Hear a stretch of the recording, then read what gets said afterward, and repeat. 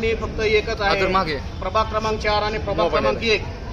हा उस्मानाबाद शहराचा गावठाण भाग असल्यासारखा आहे. नवीन वस्ती आहे. त्या भागातील सगळे लोक कर भरतात परंतु रस्ते नाल्या होत नाहीत. ज्या ठिकाणी रस्ते नाल्या झाल्यात त्या ठिकाणची साफसफाई होत नाही.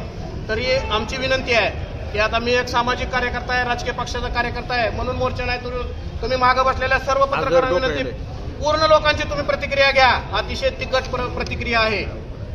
आमचं यापूर्वीचं आंदोलन चिखलफेक आंदोलन केलं चिखलातून रस्ते मुक्त होण्यासाठी.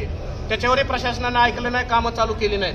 कुठंतरी थातूर एक दोन ठिकाणी मुरुम टाकायचा आणि आम्ही करायला लागलो असं दाखवायचं आज आम्ही त्यांना इशारा दिलाय आमचा मोर्चा आलेला आहे. आम्हाला तुम्ही ठोस भूमिका लिखी निवेदन दिल्याशिवाय आम्ही या ठिकाणी ठिय्या आंदोलन संपवणार नाहीत. आणि आज लिखी दिल्यानंतर आठ दिवसाची मुदत देणार आहे रस्ते चालू करण्यासाठी नाही दिलं तर मी माझ्या शेतातली बैल टिपण घेऊन येऊन त्या ठिकाणी सोयाबीन पेरणार आहे.